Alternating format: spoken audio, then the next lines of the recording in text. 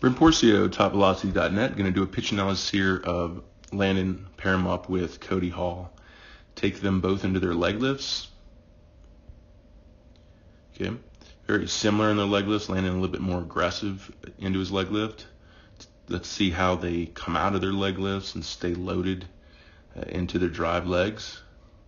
So you can see similar, except for the fact of Cody more counter rotation in the trunk than Landon and more torsion in the drive leg, which means more stability. We can see Landon here losing stability as that leg is starting to turn inward. Um, so basically, when, when Cody's able to get more counter rotation in the trunk, it's going to uh, flex the hip more and put more weight in the posterior chain and allow the uh, the drive leg to hold torsion longer, which is going to delay rotation and allow him to uh, peak more forces through his hip rotation uh, Landon here. You can see so when Landon goes to open, quickly that back leg collapses. Okay, so that's a collapsing back leg as he hits front foot.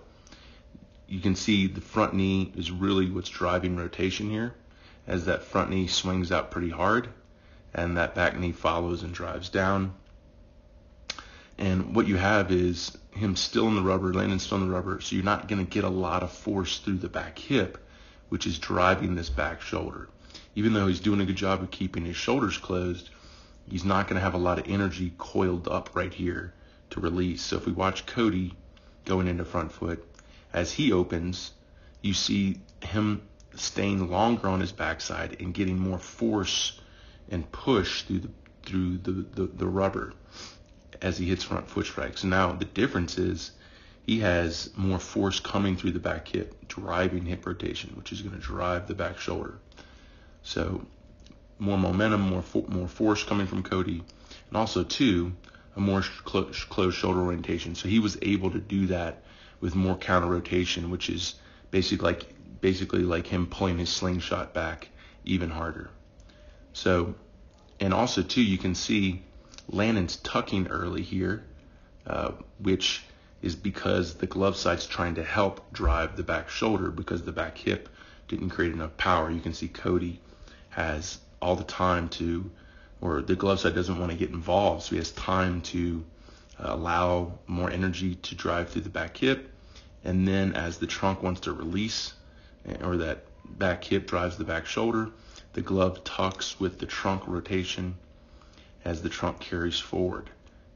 So if we take them both in that same position, you're going to see a lot more forward trunk tilts here with Cody, which is a big predictor of velocity. So, you know, considerably more forward trunk tilts out of Cody with a similar, even similar front leg position. Also, too, because Landon pulled glove side early, he's getting hyperangulated or that, that elbow's pulling behind the back and that's really hard on the front of the shoulder, and that will delay pronation in the forearm, which can be also hard on the front on the elbow. So as he goes to release and Cody goes to release, you see Cody continuing to drive his trunk, um, and even though he wasn't able to drive his front leg, still more energy was coming down the mound through hip to shoulder separation and catapulting all that trunk power forward, which is what uh, put Cody in a higher, you know, this pitch was 96.